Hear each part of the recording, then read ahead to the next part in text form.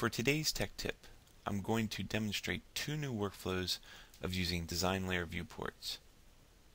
For my first example, I'm going to show you how design layer viewports can be used with a large-scale project where you would have multiple people working together simultaneously. Here I have a series of files set up based on a building structure. This includes the envelope, which is the shape of the building, structure, which is the bones of each level, mechanical, elevations, and sections. The next set of files are based on the different level plans, the interior partitions of the client build-out. This includes levels 1 through 5. Then I have a set of documents containing different units that are repeated throughout the file. This type of file structure is best if you have several repeating elements. The repeating elements in this case are unit plans. Here I have my second level floor plan open, and if I go to my navigation palette and click on the References tab, you can see that I already have several design layer viewports referencing information from external files. My next step in this file is to create a design layer viewport for Unit B. Just as I did before, I'm going to go to View, Create Viewport, click on the Create on Layer drop-down box, and select the design layer that I want my design layer viewport to reside on. Next, I'm going to click on the Select Source button, choose External Document, and then select the file that I want to reference information from. Once I select the file, I'm going to click Open, then click OK, and OK again. Here you can see my design layer viewport of Unit B, and I can now position it where I would like it. Based on the Level 2 layout, I'm going to have to rotate my design layer viewport. I could easily do this through the Object Info palette by typing in a rotation value. Instead, I'm going to use the keyboard shortcuts Command L on a Mac or Control plus L on a PC to rotate my design layer viewport 180 degrees. Now that I have positioned Unit B in the correct space, I need to make duplicate copies of it. First, I'm going to use the Mirror tool to mirror and duplicate a copy of Unit B. Next, I'm going to use the Move tool to precisely move a copy of Unit B. To use the Move tool properly, I'm going to have to access the Move tool preferences and make sure that I have the Retain option checked to retain the existing copy of Unit B.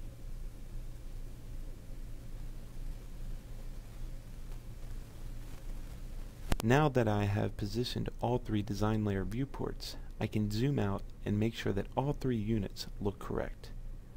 If I need to make a change to the Unit B layout, I can simply double click on my design layer viewport to access the Edit Viewport dialog box, select Reference Design Layer, click OK, and this will open the Unit B file. Note that you will get a dialog box indicating that you're about to open a reference document.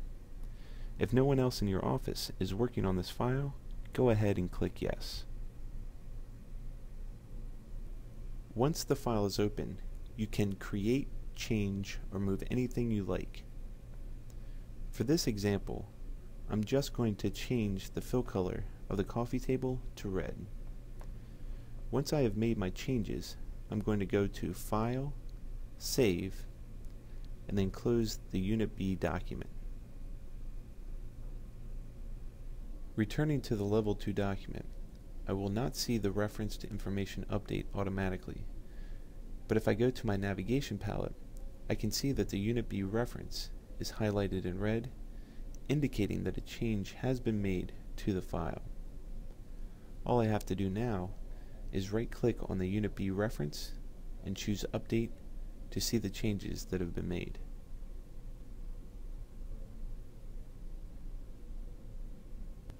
This workflow with design layer viewports allows multiple people to work together on one project, and any changes to the plans can easily be updated throughout the whole office. I also want to note that design layer viewports do contain 3D geometry, work with stack layers, and can also be rendered.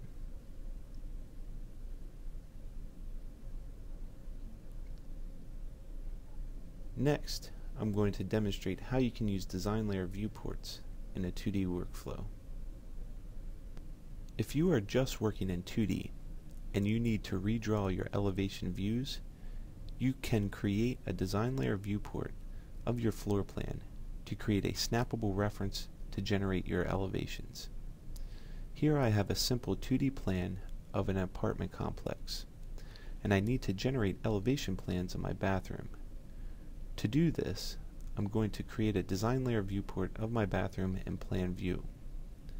Next, I'm going to use the rectangle tool to define the area that I would like to use as my design layer viewport. With the rectangle selected, I'm going to go to View, Create Viewport.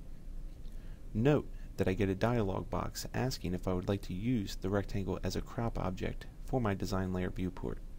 In this case, yes.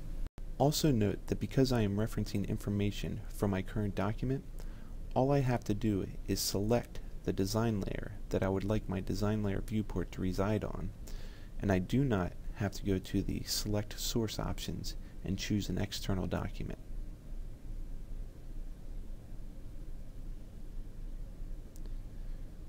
Once I have created my design layer viewport, I'm going to use the rotate tool to position my design layer viewport orthogonally.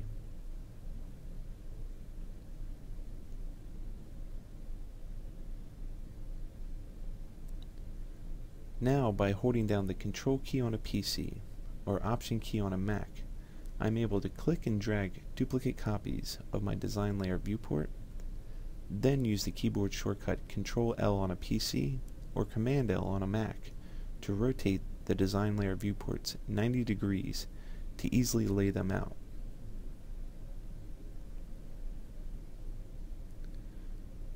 This will allow me to draw guidelines so that I can accurately create my bathroom elevations.